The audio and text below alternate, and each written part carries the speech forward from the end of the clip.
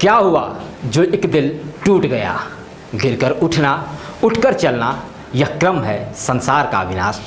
पलामू के लाल अविनाश कुमार के आईपीएस बनने की खबर जितनी तेज़ी से फैली, यह बताने के लिए काफ़ी है कि पलामू अपने कर्णधारों को पलकों पर बिठा कर रखता है।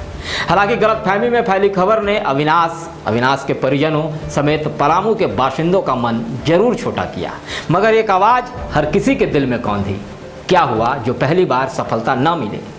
आगे जहाँ और भी हैं।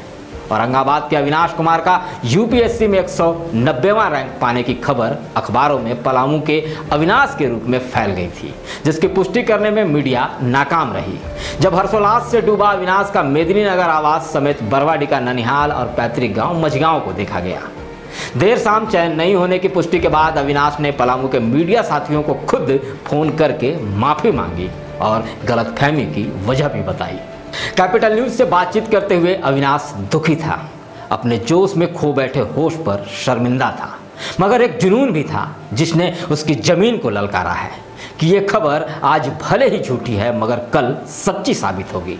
अपने मेहनत, परिश्रम और पराक्रम से अविनाश कुमार ऐसा प्रदर्शन करेगा कि लोग उसके परिजनों के सपनों को हकीकत बनते देखेंगे। देखेंगे अविनाश को आईएएस, आईपीएस बनते हैं। कैपिटल न्यूज़ की ओर से भी मंगल कामना है, पलामू के लाल कर्णधार अविनाश कुमार को।